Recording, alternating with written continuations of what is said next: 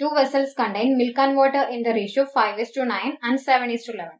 If both vessels are mixed in a ratio 4 is to 3, find the ratio of milk and water in new mixture. So we have milk and water in the ratio in first vessel 5 is to 9, in the second vessel 7 is to 11. Here 5 plus 9 is equal to 14 parts, 11 plus 7 is equal to 18 parts and both the vessels are mixed in a ratio 4 is to 3. So multiply first ratio with 4, second ratio with 3. Now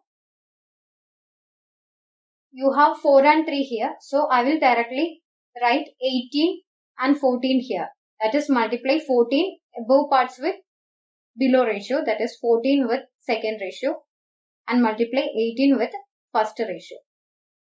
Now you can cancel directly cancel here. 3, 6 are 18 and 2 into 2 is equal to 4, 2 into 7 is equal to 14.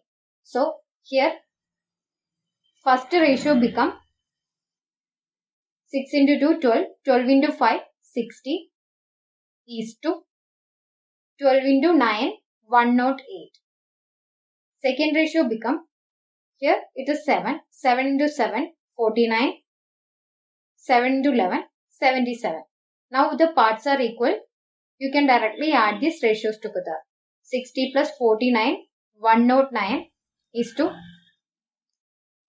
108 plus 77. 8 plus 7, 15. 7 plus 1, 8.